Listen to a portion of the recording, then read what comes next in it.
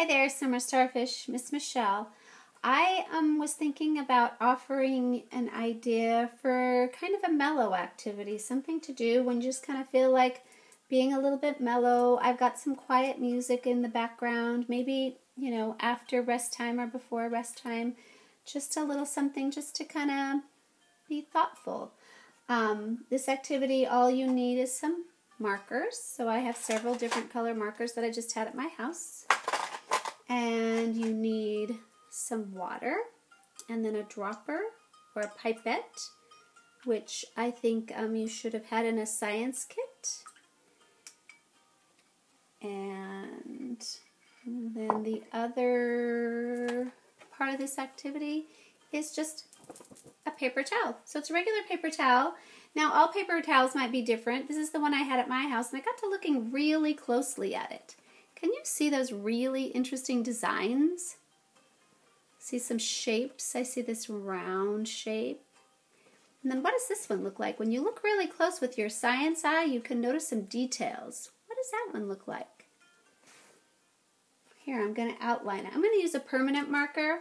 For the rest of the activity, we don't use permanent markers, but I had an idea I wanted to try uh, with the permanent marker, so that's going to be kind of the experiment part.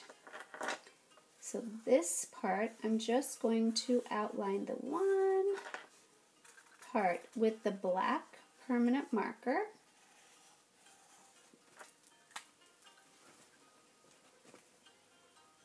It does look kind of like a butterfly. And then I'm going to pick a couple of colors and I'm just going to do some dots. I'm going to dot some blue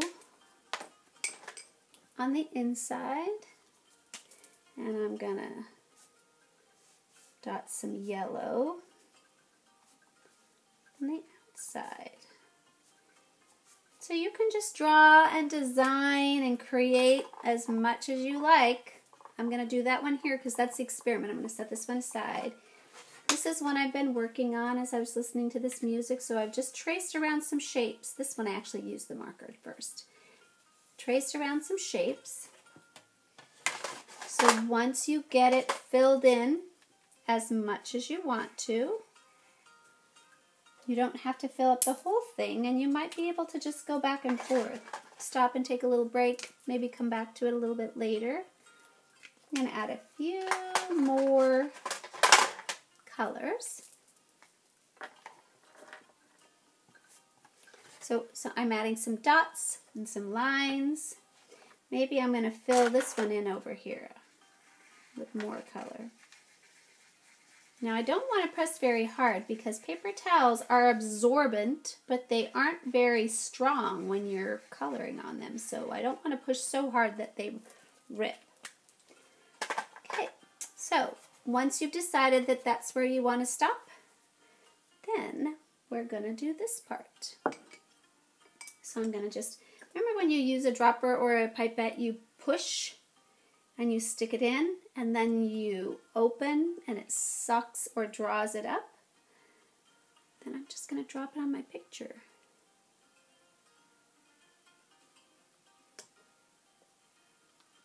So because it is absorbent and it uses capillary motion to pull it away, it starts doing something different. Now it looked one way and now it looks a different way. What's happening when, oh, do you see it moving?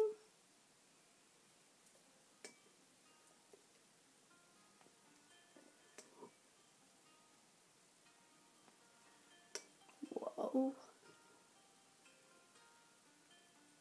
So if you have a design on your paper towels and you want to trace around the design, go ahead and see what happens. Or you could just make different drawings or color in different things. Ooh, look at. So this one I use the permanent marker. And so do you see what happens to the regular marker? It starts absorbing and spreading out. The permanent marker stays there. So I was wondering what that what would happen and that's what it did. Ooh, look what happens when they start mixing. Does this remind you of anything you've ever seen before?